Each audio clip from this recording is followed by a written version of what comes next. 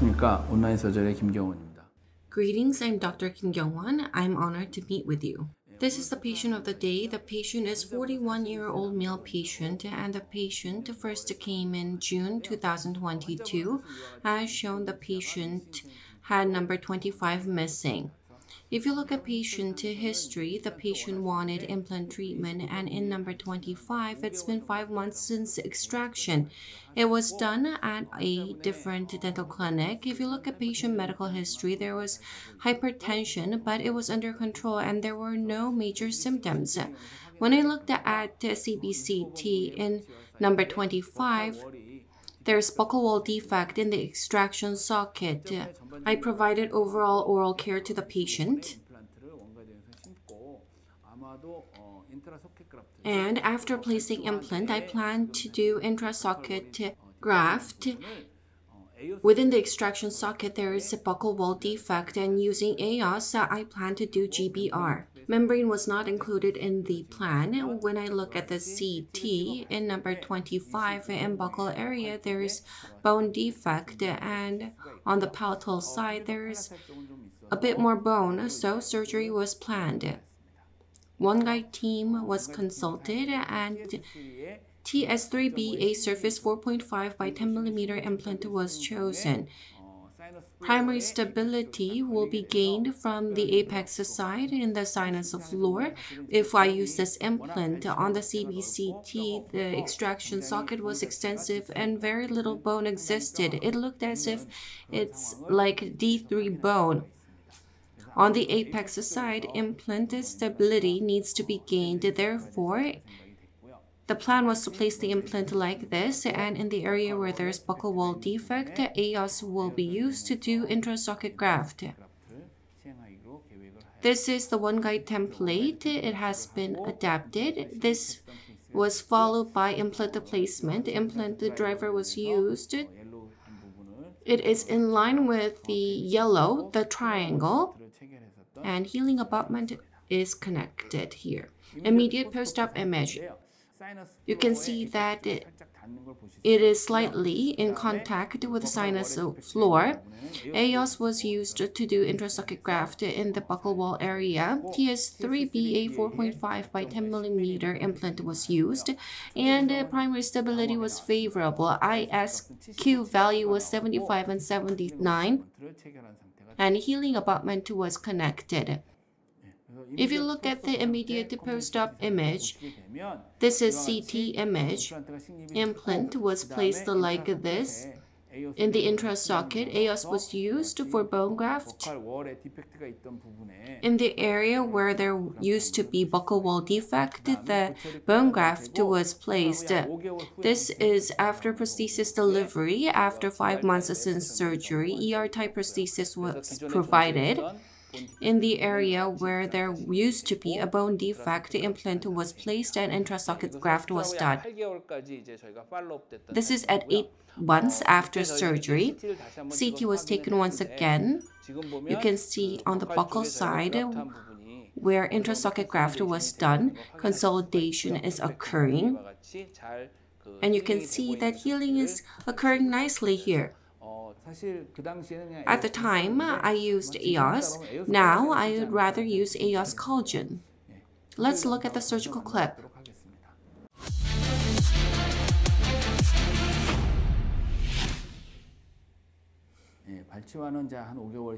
It's been five months since extraction, so it's been healed. The one guide template is adapted. Window is used to position the one guide template. Tissue punch is used to remove overriding mucosa. Tissue punch is used to remove gingiva thoroughly.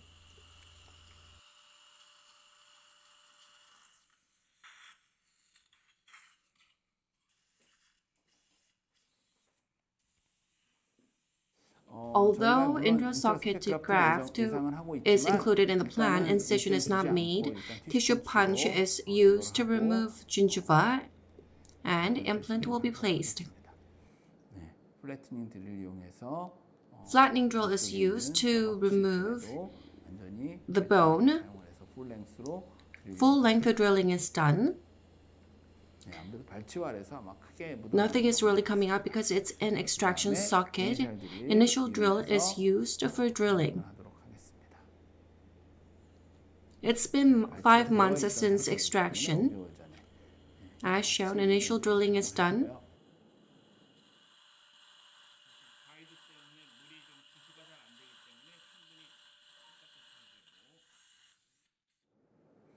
After that, 3.5 by 10 mm one guide drill is used for drilling.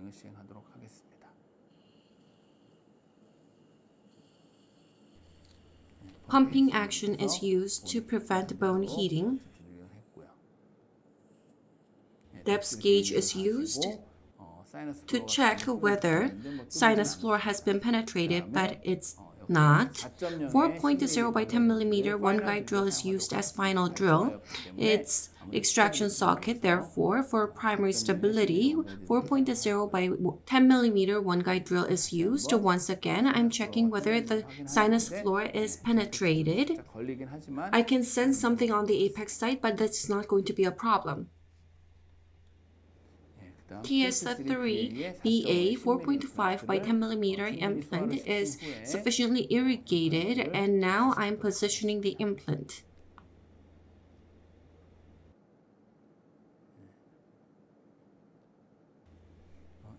With engine, the implant is placed 80% because under drilling is done. The primary stability is more favorable. The implant driver is used to position the implant final position is adjusted. If you take a look over here, primary stability is over 30 newton centimeter and it's much better than what was anticipated, so it's not going to be a problem. Implant placement depth and direction is being adjusted.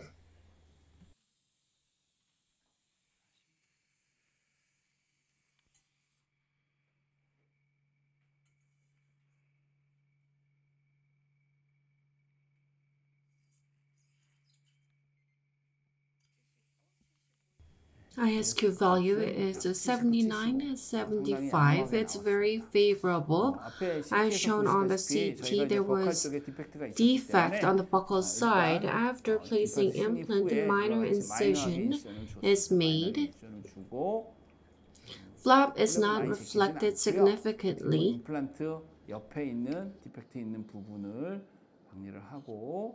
I am doing ablation next to the implant and bone graft will be performed. Extraction was performed about five months ago.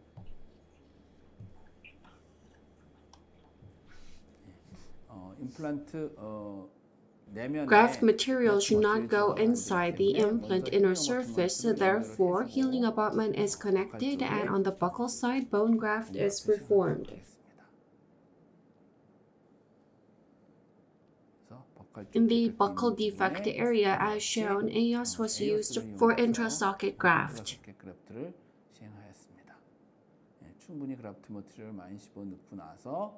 Sufficient bone graft has been performed because this is a minor flap. Now suture is being done in the area where tissue punch was performed.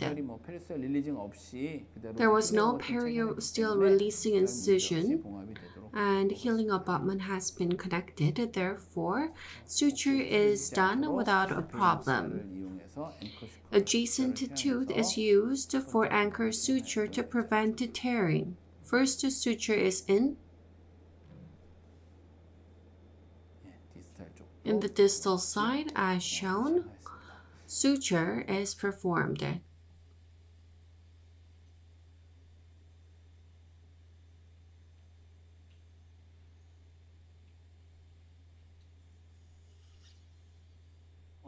케이스는 지금 보시다시피 In this case, as shown, there was alveolar bone defect on buccal side. A-Oss was used for intrasocket graft.